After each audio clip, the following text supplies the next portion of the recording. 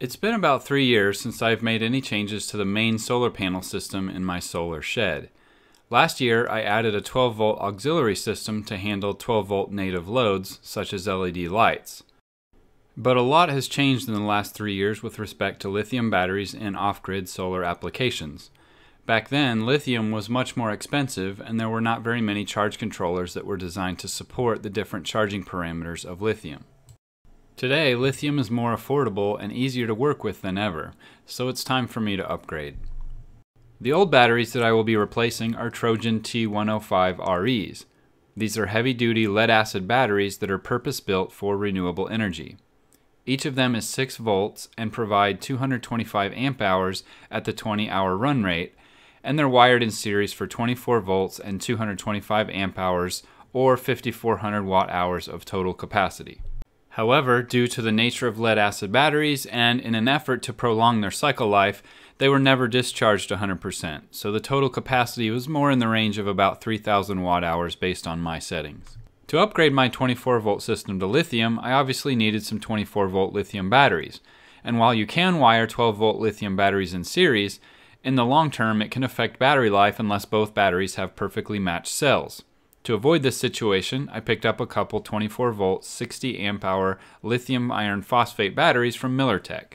These MillerTech batteries will be wired in parallel giving me 24 volt and 120 amp hours or 2880 watt hours of total capacity. If I discharge these batteries 100%, then the capacity is roughly comparable to the lead acid battery bank they are replacing. Now visually we can already see one benefit of upgrading to lithium, and that is that they take up a lot less space and are a lot lighter. Earlier this spring I tore out the old battery box that the Trojans were housed in and disconnected all of the wiring. So here we see the second benefit of upgrading to lithium batteries.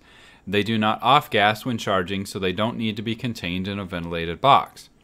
And that's one of my goals with this project and also my spring cleaning is to give myself more usable space in the shed for tinkering and for storage. The rest of the system is going to be reused, including the Morningstar charge controller and remote meter, the breakers and safety equipment, the wiring, and the solar panels themselves. Since these batteries don't require a box, I'm going to install them back in the corner where they're out of the way as much as possible.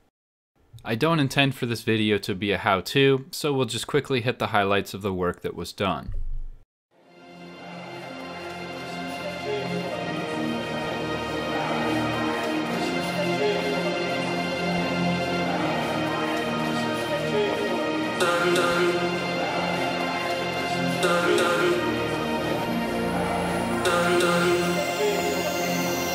Dun, dun.